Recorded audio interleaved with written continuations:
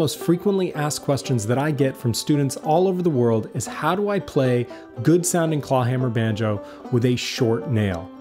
For lots of reasons, people are unable to keep and maintain a nice long nail, whether it's from their profession or just their physiology. Sometimes you just can't have a long nail, and it makes playing clawhammer difficult. And because of what I do, I get to maintain a good long nail, but as I've found over the last year or so, I've been playing so much that I wear down my nail pretty consistently, and just like everybody else, I break my nail frequently, and it, my tone and my accuracy suffers because of it. Well, today I think I found a product that has solved this problem for me after looking for a really long time, and that is the Cling Pro Frailing Pick from Cling Pro Picks. The information will appear down below in the description. So first of all, let me get this out of the way. I am not associated with the company in any way. I found the product and I really, really liked it. And so this is my review of it. It's an honest look at what this pick does and is. And so I wanted to share that with you guys because I think it could solve a problem for a lot of you out there. All right, let's get into the review. So let's talk about what the pick is made of. It's made of celluloid. Attached to the celluloid is this braided wire loop and it's all dipped in rubber and then there's this little pad on the backside that presses into the pad of your finger. The pick comes in both blue and white. These picks are priced at $10 Canadian and I think that's a fair price. So the Cling Pro Frailing Pick fits on the end of your striking finger like this. And it's really an ingenious system. I've tried lots of other picks in the past and they all seem to be loose and floppy or really, really tight. And this fits just right for me. It's comfortable for me to wear for long periods. Now there are different sizes of this pick, so you can get a size that will fit your fingers. My hands are large, I wear XXL gloves, but my fingers are medium size, so the medium fits me just fine. But you'll want to contact Cling Pro and talk to them about what size fits you best. Oh, and one thing I noticed right out of the bag, the Cling Pro pick tends to be a little bit pointier.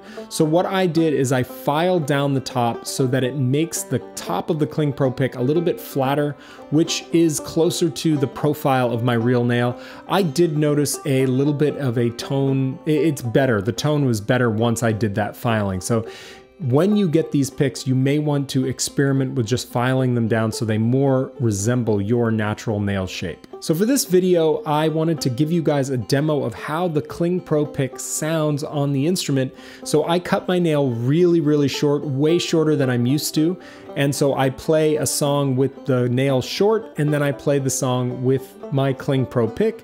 And you guys should really be able to hear the difference. The Cling Pro pick, I think, is much louder. I'm more accurate with it, and it sounds pretty close to a real fingernail.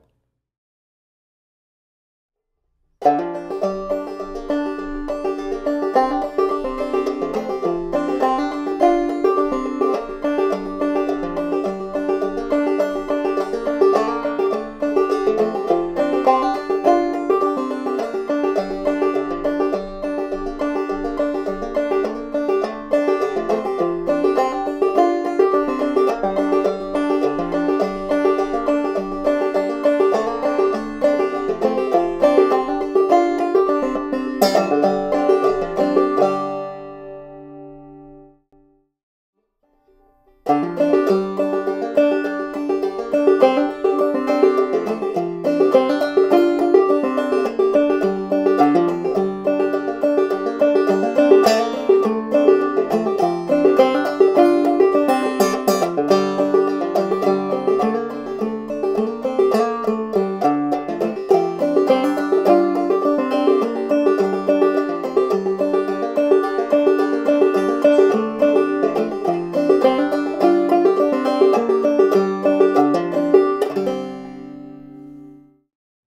So if you're struggling with nail issues, I can recommend the Cling Pro Frailing Pick wholeheartedly.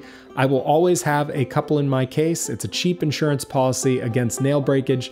It helps me maintain and prevent wear on my nail. And for those of you who struggle to grow a nice long nail, this could be a good solution for you. One little thing that I did notice with the pick is that over the course of using the pick for many hours, the rubber starts to peel away just a little bit, and this has happened on several of the picks. I don't see any real problem with this, but it's just something uh, that I thought I'd mention in the video. All right, guys, I hope you found this review interesting and useful.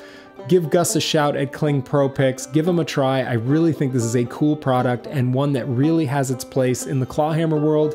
And I will see you this week on Banjo Quest.